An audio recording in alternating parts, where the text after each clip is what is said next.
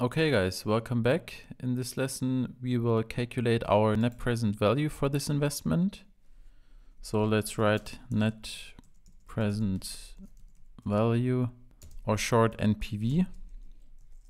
Enter, let's copy the style here, Alt GST, enter.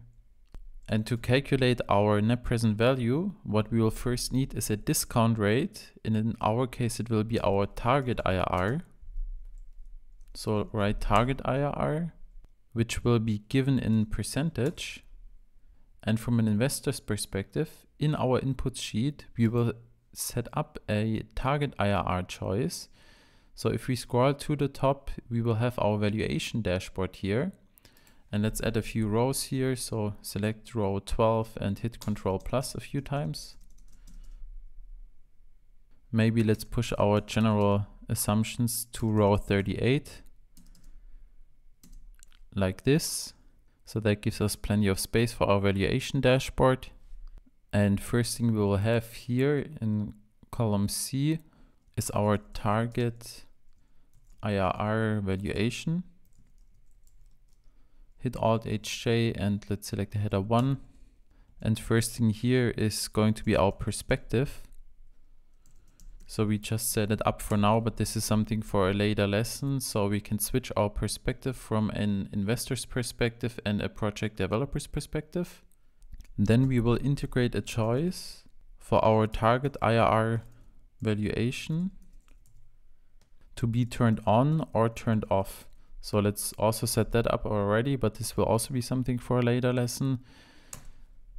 So essentially the end user will have the choice to select whether we want to calibrate the enterprise value of this asset on a target IRR basis, or if we want to see what this investment is worth from a project developer's perspective instead, which means we would turn off our target IRR valuation. And then last but not least, we will have our target levered IRR for valuation like this, hit enter.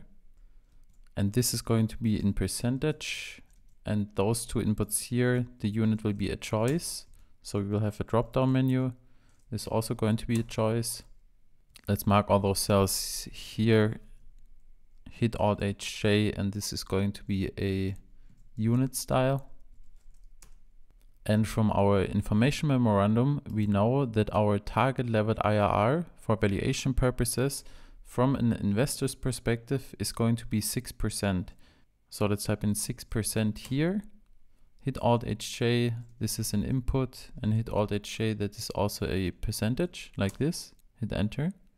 So essentially our end investor will be happy with a target levered IRR of 6%. And what this means is that our in our valuation sheet, we should get a positive net present value, meaning that an end investor will say this investment is worth more than 9 million. And what the delta is between those 9 million and the price that the investor is willing to pay for will represent our net present value.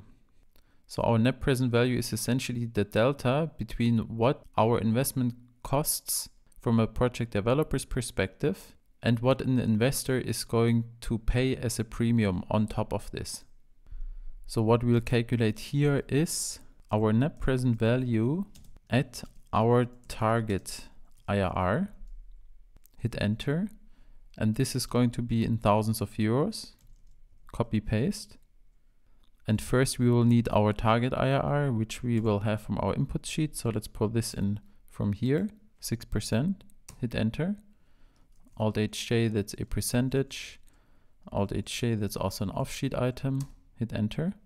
And then for our NPV calculation, this is going to equal, and again, we will have different choices of NPV calculations, but we will use our X NPV calculation again. So select X NPV. First, we will have to select a rate. So let's select our 6% here. Then our values, which are going to be here.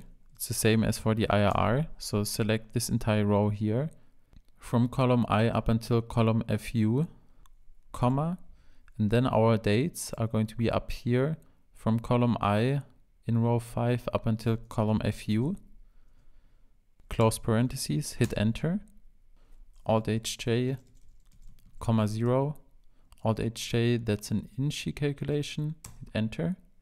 And you can see a potential investor would say that this investment is 18.4 million more worth than the 9 million what it costs, assuming a target IRR rate of 6% only.